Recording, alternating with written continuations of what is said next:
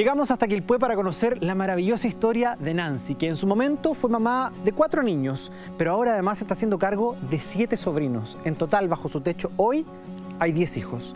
Esta es su historia. A simple vista una casa con una familia numerosa, pero lo que hay detrás de esta postal es una vida impulsada únicamente por el amor. Profundamente yo los amo, amo a mis sobrinos y el día que me los entregaron yo quedé así como en shock, igual que no sabía si llorar, porque igual estaban ellos. Pero Nancy no siempre ha tenido 10 hijos. Hace tres meses su vida cambió por completo por decisión propia. Después del baño, juegan de nuevo y después de jugar, andan que acostarse para allá, acostarse para acá, uno por uno, que... O sea, tú no paras en todo el día. No, si no se puede, no se puede. Así es como llegaron a su vida los siete sobrinos, hijos de su hermana. Un revés judicial y la necesidad de tener una familia hizo que esta mujer tomara la decisión de adoptarlos, proceso que aún está en trámite. Les da almuerzo, le hace todo. ¿Te gusta que tu mamá sea tan generosa? Sí.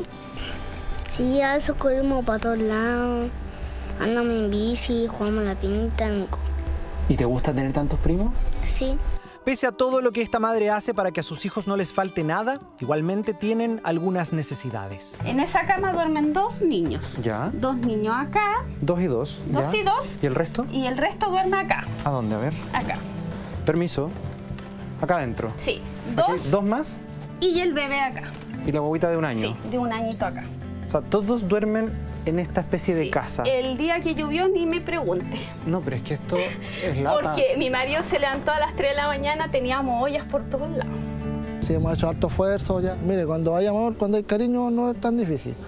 Pero igual es difícil porque eh, yo lo veo más por ella, porque como ella igual es, es, más familiar de ellos, entonces sufre igual al verlo ellos que están así un poco vulnerables. En medio de todo esto, esta valiente y amorosa mujer hace una potente reflexión. Que me lo entreguen a mí. ¿Eso quieres tú? Sí, que me lo entreguen a mí, como se dice, de alguna manera vamos a comer. Hoy día su pareja la apoya y reconoce el valor de hacer juntos el esfuerzo por un futuro mejor. Y la Nancy igual tiene harto corazón, igual eh, le gusta ayudar a la gente, yo le ayudo harto en lo que pueda, en lo que se pueda ayudar y ahí estoy. Pues.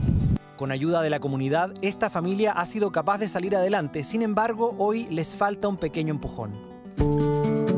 ¿Por qué hacerse cargo de siete hijos no biológicos? ¿Con qué objeto deslomarse trabajando para que no les falte nada? ¿Por qué pensar más en el otro que en sí misma? Muchas interrogantes con una sola respuesta. Todo es por amor.